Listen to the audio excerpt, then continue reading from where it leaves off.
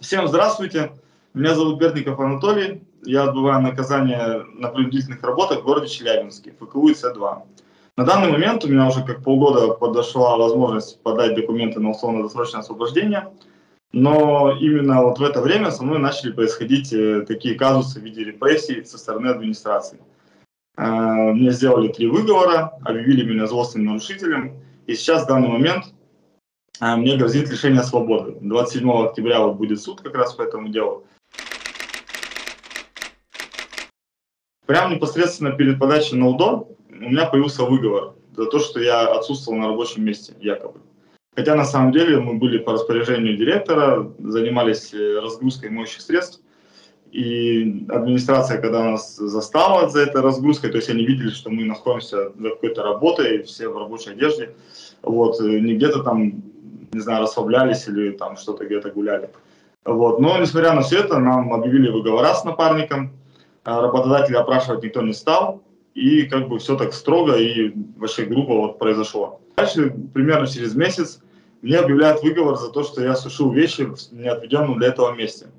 Вот. Но я не чувствую ничего практически абсолютного, я бы сказал, за собой, потому что вещи на батарее сушит каждый, не знаю, первый человек в нашем исправцентре. Вот. Опять же, на это есть, естественно, причина.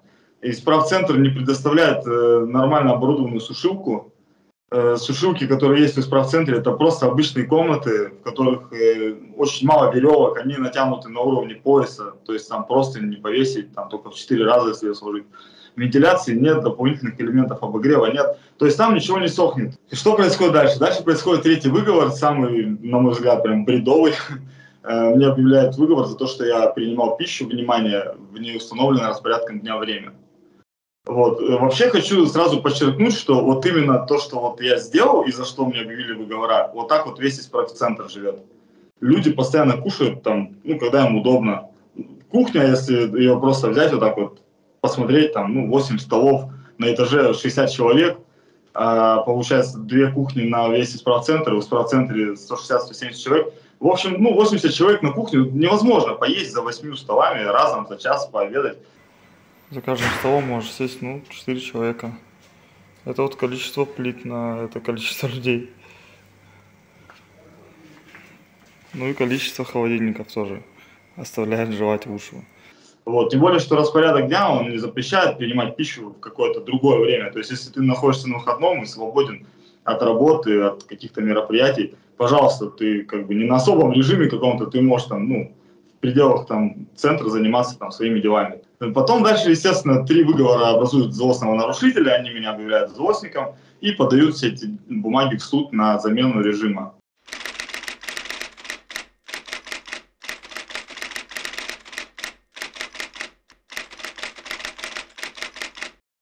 С выговором за прием пищи он в первой инстанции начал э, ставиться под сомнение. Судья потому что удивился тому, что ну как принимал пищу в неустановленное распорядком дня время. Он начал сразу спрашивать, у представителя центра, у юриста, типа, что запрещено разве распорядком дня принимать пищу в какое-то неустановленное время?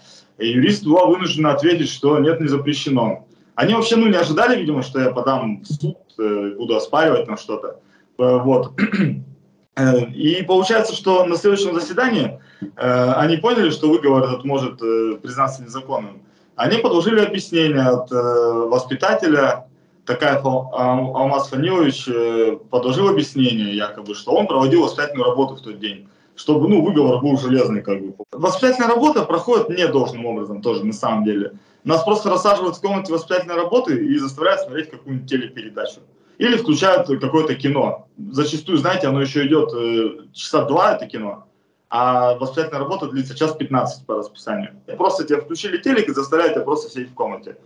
Вот. Хотя по закону, по закону сказано, что воспитательная работа должна проводиться с учетом личности осужденного и с учетом содеянного по статье вот этого деяния. То есть индивидуально, то есть раз на какое-то время, как вот э, в колонии вот раз в год или раз в полгода дают тесты психологические и наблюдают какие-то изменения. Вот, то есть как ты тогда отвечал, что ты сейчас на эти вопросы отвечаешь, и какую-то смотрят динамику, то есть твоего исправления. В суде это ничего не развалилось, суд поддержал сторону администрации, вот, апелляция также. Сейчас э, происходит что? Сейчас вот будет заседание уже конкретно по моей замене. И, скорее всего, мне заменят вот из-за этой всей ерунды, э, вот этот вид наказания в виде принуд работ э, колонии. Год и 10 еще мне осталось отбывать, то есть вместо УДО я поеду в колонию.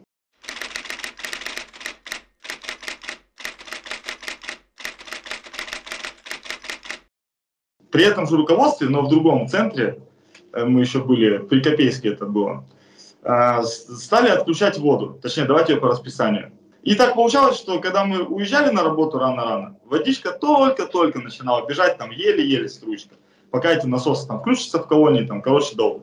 Вот. А когда приезжали с работы, получается, воды уже не было, потому что в 8 вечера ее выключали. Вот. При этом коммунальные все вот эти услуги мы оплачивали э, все поровну. То есть вот сколько набежало воды, все это делилось на всех. То есть фактически я платил за воду, которой даже воспользоваться не мог. Даже, например, вот ты приезжаешь с работы, нас встречает оперативно дежурный. Мы с порога сразу там, Александр Олегович, там, или как там, ну, такой-то, такой-то, да? а что там, водичка-то есть? А он вместо того, чтобы, допустим, посочувствовать, сказать, ребят, я вам сочувствую, как бы, но или нет. Он вместо этого начинал как-то зло шутить, там, знаете, из серии, там, а, там, идите снег попробуйте растопить, там, еще что-то.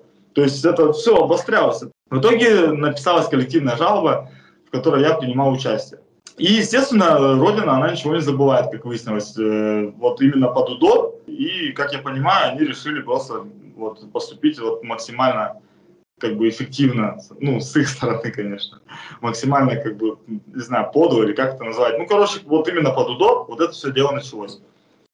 Вот, я надеюсь, что благодаря этому видео мне удастся все-таки добиться правды и провести реальную проверку и обличить э, вот этот должностной подлог, который был со стороны Такаева. Ему отдавал по-любому распоряжение или замначальник, или начальник. То есть просто так бы сам воспитатель бы, ну, не стал бы никакие действия вообще предпринимать.